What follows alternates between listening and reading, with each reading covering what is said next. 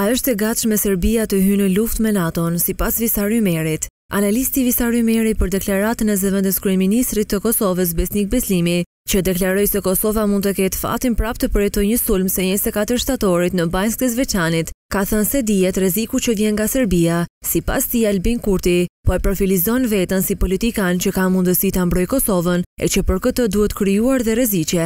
Kryeministri Kurti po ndërton një fushatë të minuar dhe pastaj ja të dalë si faktori kryesor dhe i vetmi i gatshëm dhe ka mundësi për të mbrojtur Kosovën, por për këtë i duhet të krijojë rrezikun. Ne pajtohemi se nga Serbia ekziston, por rreziku që do të ndërtojë Kurti mendoj se ka një tjetër qëllim, deklaroi analisti. Fjalët luftë dhe sulm me rastin e Banjskës mendoj që i përdoren si sinonime, por unë nuk mendoj se Serbia është e gatshme me hyrë në luftë me NATO-n, theksoi Ymeri, pasi sipas tij KFOR-i është këtu për të mbrojtur Kosovën. Nuk ka rëndësi se sa ushtarë dhe mjete ka KFOR-i sepse mbrojtja e Kosovës është ombrella e NATO-s dhe të mos harrojmë që KFOR-i është për të mbrojtur kufijtë e Kosovës nga ushtria serbe potencoi Visar Ymeri. Njerëzit normalë në Serbi nuk duan luftë, po pavarësisht kësaj, presidenti Aleksandër Vuçiç nuk heq dorë nga lufta psikologjike e krijimit të nacionalizmit sipas recetës së Sllobodan Millosheviçit dhe këtë ai e bën që të qëndrojë në pushtet dhe për shumë vite, teksa po përgatit një përshkallëzim të ri, kështu ka deklaruar analistja amerikane Ivana Stradner, duke shtuar se përpjekjet e presidentit serb nëpërmjet mediave që i kontrollon janë tekste. Propaganduese ku përmendet lufta. Kështu ka vepruar Serbia së fundmi, një tekst i tillë ka qenë ai me titull, Qytetarët e Serbisë duhet të jenë gati që në rast lufte të funksionojnë pa shtetin të paktën pesë ditë, tregoi Stradner, duke u shprehur se tashmë shumë e kanë kuptuar skenarin e Vuçiçit. Sipas saj me këto veprime, presidenti i Serbisë po përgatit një përshkallëzim të ri dhe siç theksoi ajo, pastaj, Ai do të pozicionohet si garantues i paqes në sytë e Perëndimit dhe si zjarrfikës. Ndërsa UDBA-ja promovon vlera tradicionale dhe u pastron trurin përmes kishës, që shkatërron dhe instrumentalizon për strategjitë e tyre korruptive ka theksuar analistja amerikane. Sipas saj në Serbi, për shkak të propagandës së Vuçiçit, shumë nuk e dinë se çfarë po ndodh në të vërtetë. Ambasadori i Francës në Kosovë Olivier Guerot njëjtë si kolegu i tij nga Gjermania, Jorn Rohde ka kërkuar që Qeveria e Kosovës të dërgojë draft-statutin e Asociacionit të Komunave me shumicë serbe në Gjykatë Kushtetuese për shqyrtim në atë mënyrë që vendi t'i rrisë gjasat për anëtarësimin në Këshillin e Evropës, meqë në vlerësimin e tij ka disa shtete që hezitojnë të votojnë pro hyrjes së Kosovës në këtë organizatë ndërkombëtare.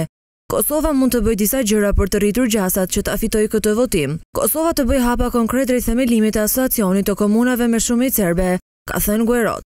Hapat konkret nuk do të thotë krijimi i plotë, është një hap, diçka reale, diçka konkrete, diçka të pakthyeshme, ka shtuar ai.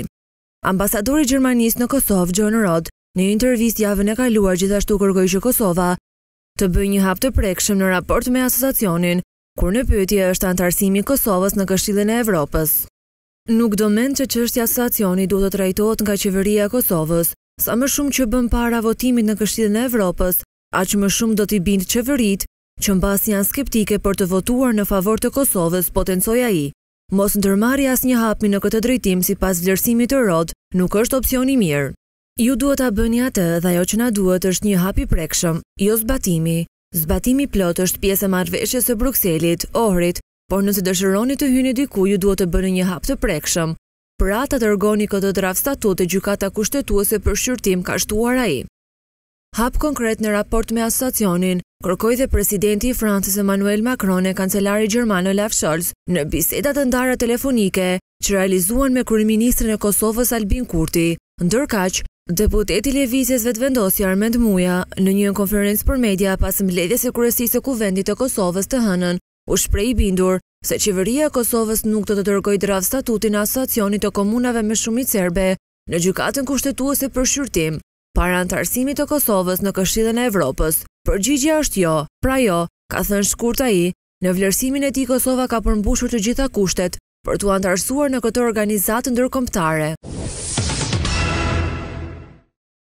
Reagojnë nënat e Srebrenicës, kërcënimin e Vuçiçit ta merrni seriozisht, vendosni trupat e NATO-s në kufi. Shoqata e Viktimeve dhe Dëshmitarëve të Gjenocidit dhe Shoqata Lëvizja e Nënave nga enklavat e Srebrenicës dhe Zhepës u dërguan një letër shumë organizatave ndërkombëtare, duke përfshirë NATO-n, ku iu referuan veprimeve të Serbisë në lidhje me rezolutën për Srebrenicën. Në letrën e dërguar nga shoqatat theksohet se presidenti serb Aleksandër Vuçiç pretendon se do ta kundërshtojë rezolutën me të gjitha forcat, duke pasur parasysh se presidenti serb pretendon se Serbia do ta kundërshtojë me të gjithë forcat rezolutën për gjenocidin në Srebrenicë, tha se ai është krenar për rezultatet e fushatës kundër pranimit të Kosovës në Këshillin e Evropës dhe rezolutën për Srebrenicën, duke lënë të kuptohet se miratimi i rezolutës për gjenocidin në Srebrenicë do të hapë kutinë e Pandorës pa precedent. Ne pyesim se çfarë do të thotë hapja e kutisë së Pandorës me armët e marra nga Rusia dhe Kina. Ata gjithashtu kanë thënë se çdo kërcënim për paqen është shkelje serioze e marrëveshjes së paqes të Dejtonit. Vetë njoftimi i presidentit serb për hapjen e diçkaje të tillë është thirrje për garantuesit e paqes në Bosnje dhe Hercegovinë për të mbrojtur paqen. Presidenti i Serbisë është një person që ka kërcënuar dikur publikisht. Kujtojmë se ka deklaruar se për një serb, do të vrasim njëqind myslimanë